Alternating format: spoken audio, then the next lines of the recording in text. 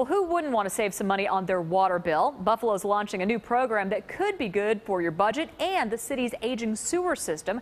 News 4's Brian Shaw tells us how it works. The City of Buffalo and the Sewer Authority has set up a rain barrel downspout disconnect test program in the Hamlin neighborhood.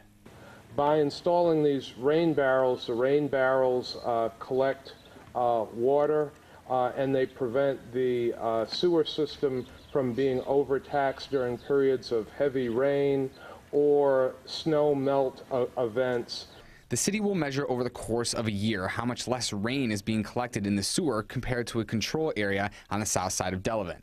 It's estimated that with 60% of residents using this, 59 million gallons will be redirected from the sewers. There are two setups. The rain barrel, which holds 60 gallons, will collect the water through holes in the top and a screen to keep out debris, and will have a spout to connect your hose, or you can have the downspout to redirect the water to your lawn.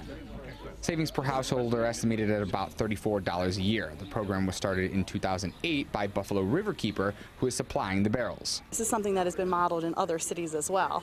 Um, Toronto, Portland, for example, have very, very successful um, downspout disconnection programs.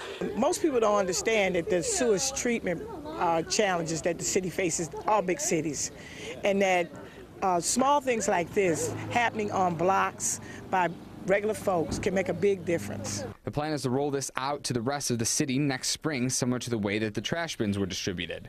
In the meantime, if you are interested in a rain barrel, visit our website, WIVB.com. Brian Shaw, News 4. Growing up, my grandparents always had a rain barrel. It actually helped with the garden quite a bit. And